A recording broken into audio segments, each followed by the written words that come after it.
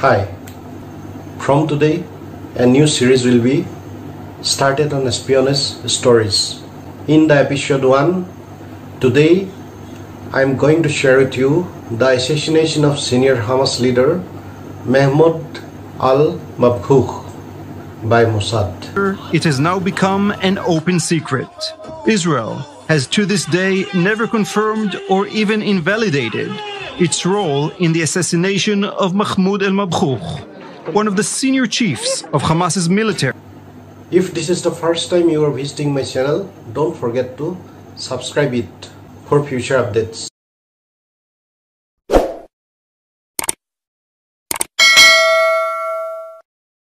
Mossad, the feared and respected intelligence agency of Israel, which is separate from countries' democratic institutions. Mossad is responsible for intelligence collection, covert operations, and counterterrorism. In 13 December 1949, Israel's co-founder, first Prime Minister David Ben-Gurion, created a new agency for intelligence operations outside the country's borders. He later named it the Institute for Intelligence and Special Operations in Hebrew, which is called Mossad. When Meir Dagan took over as the director of Mossad in the year 2002, it became more dangerous and active. Dagan's men were very active in enemy countries. Dagan was called the king of shadows. The revenge level of Mossad is too severe Mossad is known for their ultimate methods of assassination. They research about the modern poisons and radioactive substances to kill their enemy. They have a research unit just for this work only. Mossad has a hit team or assassination unit named the Kidon. It is said that yeah. the Kidon men are so secretive that even some of the Mossad men themselves don't know who they are. Now, let us go to the story. All is about one of the successful assassination operations by Mossad in Dubai. Al Bustan Rutana Hotel, Dubai. 19th January 2010. Time 8.30 in the evening. A man with black hair, a slightly receding hairline and a thick black mustache was captured over closed-circuit camera in the entrance of the hotel. He registered his identity as a Palestinian merchant in the register book of the hotel. Actually, the man who just entered the hotel was not a merchant. He is Mahmoud al-Mabhouh a top Hamas operative from Damascus of Syria. He had been in Dubai for less than six hours, but already he had met with a banker who was helping him to arrange various international financial transactions required to purchase special surveillance equipment for Hamas in Gaza. He had also met with his regular contact from the Al-Quds force of the Iranian Revolutionary Guard, who flew in to coordinate the delivery of two large shipments of weapons to the extremist Islamic organization. Al-Mabhouh did a lot of business in Dubai. It was at least his fifth visit in a little less than a year to Dubai. He traveled on a Palestinian passport which listed a fake name and a fake occupation. In reality, he is in Hamas for decades. 20 years earlier, he had kidnapped and murdered two Israeli soldiers and more recently, after his predecessor had been disposed of by the Mossad in Damascus, he had been in charge of stalking Hamas armories. A step or two Behind Al-Mabhouh, there was a man with a cell phone, following him into the elevator. Coming now, the man said into his phone. Al-Mabhouh might have overheard, but he didn't seem to notice. Al Mabhouh was by nature an extremely cautious man. He knew that the Israelis wanted to kill him. You have to be alert, he had told Al Jazeera in an interview the previous spring. And me, praise Allah, they call me the fox because I can sense what is behind me, even what is behind that wall.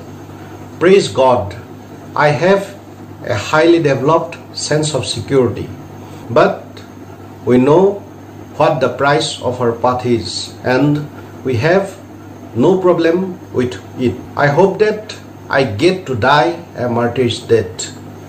The elevator stopped at the second floor. Al Mabhouh stepped off.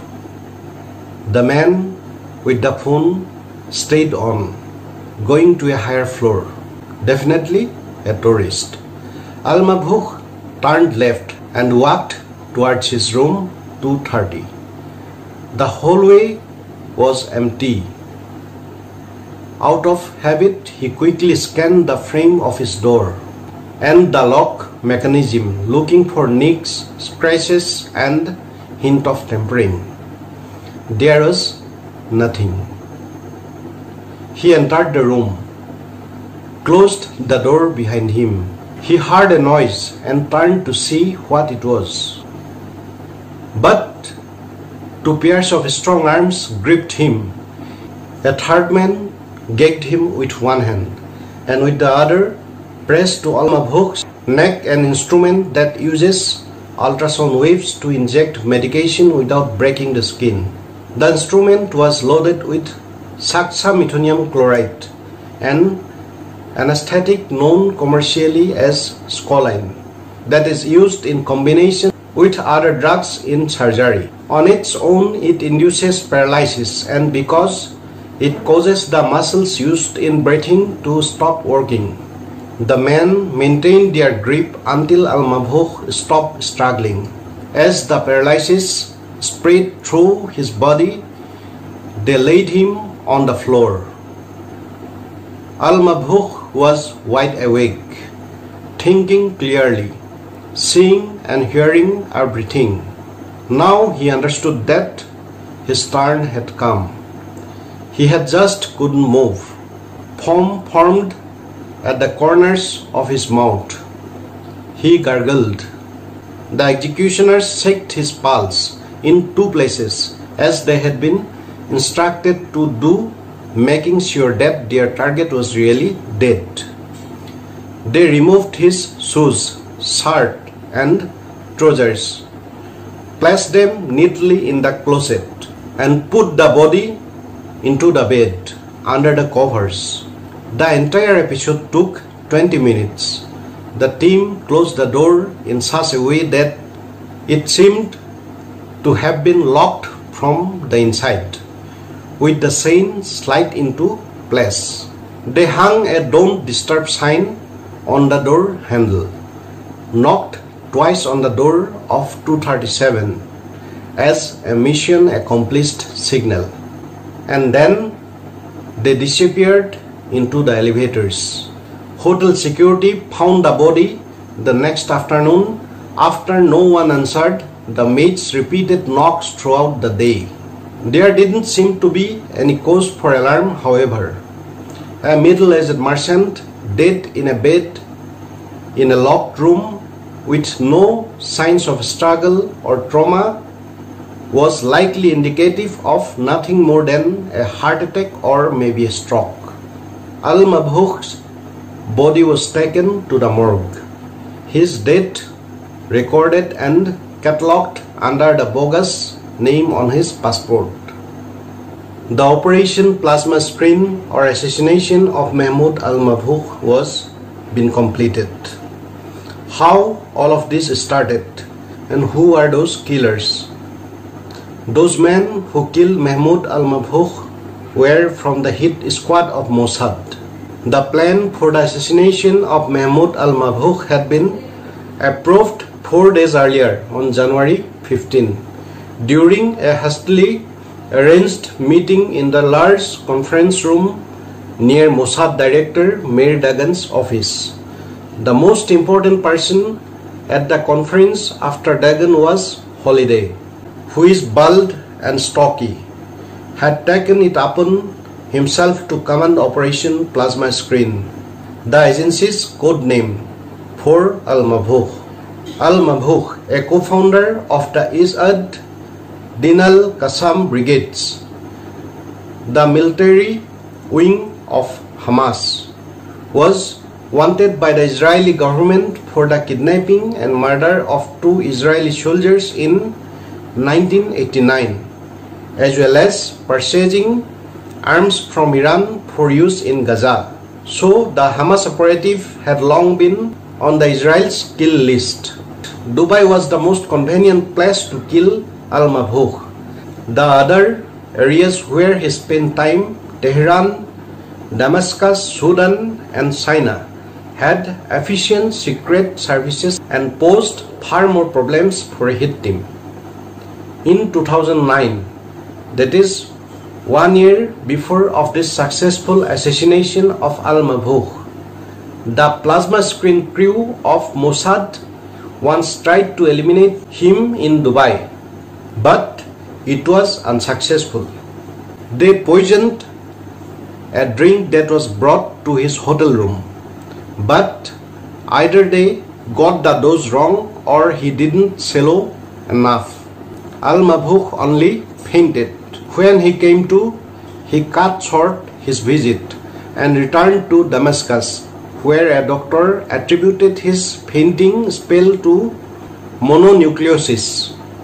He accepted this diagnosis and didn't suspect an attempt on his life. So, this turn of events caused profound frustration within the Mossad. Holiday insisted that there would be no mistakes this time. The hit squad would not leave Dubai before they saw with their own eyes that Al-Mabhouh was dead. The first three members of the plasma screen team landed in Dubai at 6.45 on the morning of 18 January. Over the next 19 hours, the rest of the team, at least 27 members altogether, arrived on flights from Zurich, Rome, Paris and Frankfurt. 12 of their passports were British 6 Irish, 4 French, 4 Australian, and 1 German. All were genuine, but none actually belonged to the person using it. Some were taken from their owners, residents of Israel with dual citizenship, some were obtained under false identities, some were stolen, and others belonged to the deceased. At 2 am on 19 January, Gail Folliard and Kevin Daveron landed. They were to be the main pivots for the operation, controlling the forward command room, the communications personnel, the guards, and the lookouts. They checked into separate rooms at the Jumeirah Hotel. The reception clerk took their money and gave Folliard room number 1102 and Devon 3308. Peter Elvinger, the commander of the mission, landed at the airport 21 minutes after Folliard and Devron, carrying a French passport. After clearing passport control, Elvinger pulled a counter-surveillance maslul, exciting through the terminal door, waiting three minutes then turning around and going back inside for a predetermined meeting with another team member who had come to the airport earlier by car. By early afternoon, the entire team was waiting tensely for the arrival of Al Mabhouh. He was expected to fly in at 3 o'clock, but there were still some gaps in the intelligence. Al Mabhouh arrived at 3.35 pm. A team tailed him to the Al Bustan Rotana hotel. The team members made extensive use of cell phones. But in order to avoid direct links between their numbers, they dialed a number in Austria, where a simple switchboard installed in advance put the call through, either to another phone in Dubai or to command post in Israel. The crew members already in the lobby of Al Bustan Rotana were wearing tennis cloths and carrying rackets, though curious without the usual accompanying covers. After Al Mabhouh got his room key, two of them entered the elevator with him. When he got out on the second floor, they followed at a discreet distance and noted that he was staying in room 230. Once Alvinger knew Al Mabhouh's room number, he made two phone calls. The first was to the Al Bustan Rutana to book a room. He asked for 237 directly across the corridor from 230. Then he called an airline to reserve a seat on a flight to Munich via Qatar later that evening. A little after 4 pm, Al Mabhouh left the hotel. The team trailing him noticed he was taking precautionary measures, doing his own kind of maslul. He had good reason to do this. Almost all of his comrades in Hamas since the late 1980s had died unnatural deaths. But his moves were simple and unsophisticated, and the team had no trouble keeping eyes on him. Kevin Devron waited in the Al Bustan lobby for Elvinger, who arrived at 4.25 pm. The security camera clearly captured his red-covered European Union passport. Two hours later, four men came to the hotel in two pairs. All wore baseball caps that hide their faces. They carried two large bags. One of them was an expert at picking locks. They went directly to the elevators and to the room 237. At 10 o'clock, the crew tailing Al Mabhouh reported that he was heading back to the hotel. Devron and Folliard kept watch in the corridor while the lockpicker began working the lock on the door to 230. The idea was to reprogram it so a Mossad master key would open the door without being locked, but at the same time not disrupt the normal functioning of the proper key. A tourist stepped off the elevator, but Devron quickly engaged him in some innocent, distracting conversation the tourists saw nothing. The lock was picked and the team entered the room. Then they waited. And when Al Mabhouh opened the door and entered into the room, what had happened with him was clearly described in the first half of the video. After the completion of the operation, within 4 hours, most of the team was out of Dubai and none were left 24 hours later. In Tel Aviv, a mood of self-satisfaction reigned, an atmosphere that was later described as the euphoria of historic success. Everyone involved, Meir Dagan, Holiday, the hit team, believed another mission had been expertly accomplished. Dagan reported the kill to Prime Minister of Israel Al Mabhouh won't bother us any more. And this way, one of the most famous operations of Mossad, the plasma screen, was accomplished. I hope you like the first episode of our new series, The Espionage. If you like it, don't forget to like, subscribe, and comment.